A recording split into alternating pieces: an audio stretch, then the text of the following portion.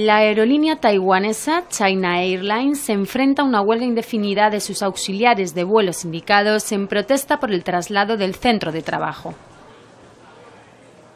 Más de 2.600 trabajadores, miembros del sindicato de asistentes de vuelo, decidieron unirse a la reivindicación que provocó la cancelación de 67 vuelos este viernes. El nuevo presidente de la compañía, Honuan Swan, que inicia su mandato este mismo viernes, afirmó que busca una solución rápida al conflicto y que está dispuesto a dialogar con los empleados. La huelga está motivada por el traslado del lugar de trabajo desde el aeropuerto de Zhongshan, en Taipei, al de Taoyuan, a 50 kilómetros de la capital. Esta es la primera huelga de este tipo en Taiwán, donde los sindicatos son débiles y rara vez hay protestas laborales.